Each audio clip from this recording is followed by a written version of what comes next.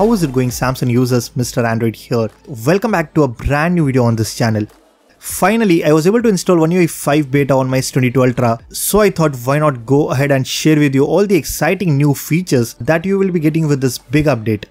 With that being said, if you own a Samsung phone and you are really waiting for the One UI 5.0, then stay tuned and watch this video till the very end. Also, let's aim for at least 1000 likes on this one, so drop a like, leave a comment and let's get started. First, let's take a look at the notification panel. You can see it looks very similar to what we have in One UI 4.1 and the only change I can notice here is the icons look much bigger compared to the previous version. Next, if I swipe down and tap on these three dots, there is a new option called Active Apps. This basically shows all the applications that are running in the background for a long time. It consumes your phone's battery, so you can close those applications in just one click.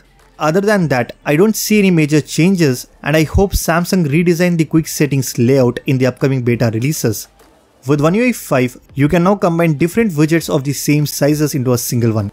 All you have to do is simply long press and drag it on top of each other. Then you can swipe left or right to find the widget you are looking for. You can also edit the stack by removing the widgets that you don't use quite often.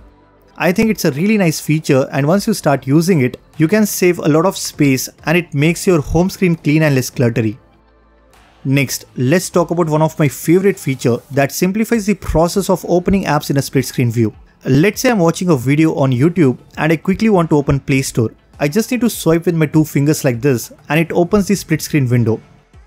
Not only that, if I swipe from the top right, it opens that application in a pop-up window. I think it's one of the quickest way to open apps in a pop-up or split screen window and it definitely enhances your multitasking experience. To enable these gestures on your phone, go to your settings, select advanced features and then select labs. Here you get two brand new options, just go ahead and turn it on. Next, if I long press and select wallpaper and style, here we have something called as color palette. Previously there were only 4 color options, but now you get around 16 different colors that you can choose from. Well, if you love customizing your home screen, then it is going to be super useful for you. Not only this, if I select apply palette to the app icons, as you can see it gets applied to more applications compared to the previous version. Samsung is doing a great job when it comes to automatic theming and I don't think you need any third party launcher, you can customize everything just by using the default Samsung launcher. The next unique feature lets you to extract text from any photos on your gallery. Let's say I want to extract text from the screenshot that I have taken I simply need to long press and it allows me to select or copy the text from that screenshot. Basically you can copy text straight from a picture and paste it anywhere on your screen. This not only works for screenshots but you can also use it for photos taken from your phone's camera. Next, if I press and hold on my home screen and select widgets, when I scroll down I have this brand new widget called Smart Suggestions. Once you place it on your home screen, what it does is it will suggest you all the apps and actions based on how you're using your smartphone.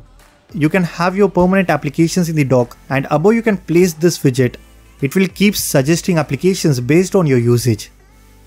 Next in the settings, if I go inside battery and device care, here we have this brand new option called maintenance mode. What it does is, it protects your privacy while someone else is using your phone. Let's say you are sending it for repairs and you really want to save your personal data including photos, messages and accounts. You can turn on this mode before giving your phone to the service center. Once you get it back, you can turn it off by using your fingerprint and you can see everything is back to normal. Again a very useful feature, especially when you're giving your phone to someone else, you can definitely enable this setting. Did you know with One UI 5 you can apply different call backgrounds for each contact. All you need to do is select the contact, tap on this edit icon and then click on view more. Here you get the option that says call background. So now you can apply different call backgrounds for specific contacts and change the entire look of your caller screen. The next change is in the camera settings. If I open my camera and go to settings, now I can enable or disable the watermark. By default, it shows your phone's model name, but you can change it to anything you want. Not only this, you can also change the font style and the position as well. If you are using Edge panels on your Samsung device, it now shows the app names below the app icon. If you want to enable this option, simply go to the settings, select display, go inside Edge panels and click on edit. Now just tap on these three dots and enable this option that says show app name. This option was not available in One UI 4.1 but now they have added this feature. The next feature I want to talk about is the app languages. Under settings, if you go inside general management, you now have this brand new option called app languages. This basically allows you to choose the language you want to use for each app individually. Let's say whenever I open YouTube, I want it to be in Hindi language. Now I can easily do that.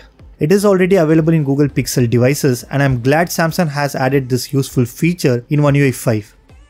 If I select battery and device care and then go inside memory, now you get this option to disable the RAM Plus feature on your phone. In One UI 4.1, you don't get the option to disable the RAM Plus feature, but now you can turn it off. It is totally up to you. If you're running out of space, then you can go ahead and disable this feature.